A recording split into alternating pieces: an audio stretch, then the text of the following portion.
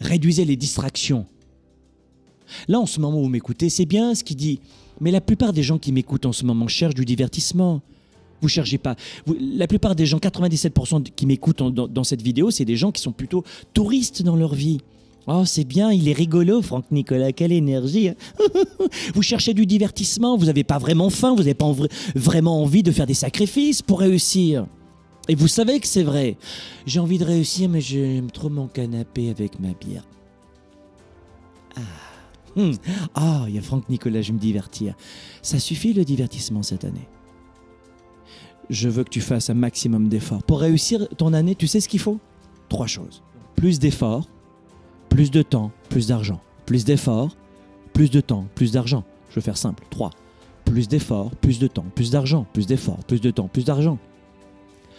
À consacrer à votre formation. Passez plus de temps cette année. J'ai pas dit de réduire le divertissement. J'ai dit passe plus de temps cette année à te former.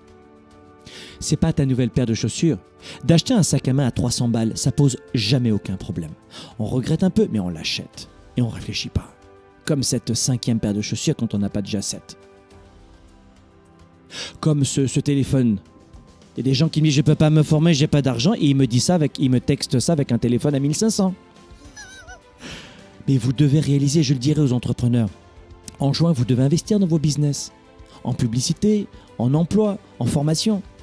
Mais j'y arrive pas, je gagne pas d'argent parce que tu donnes rien à ton business. Et pour les gens qui sont des salariés, c'est vous votre business. Vous l'avez compris ou pas ça? Formez-vous parce qu'on ne perd jamais rien en se formant. Tu perds en, faisant encore un troisième restaurant ce mois-ci.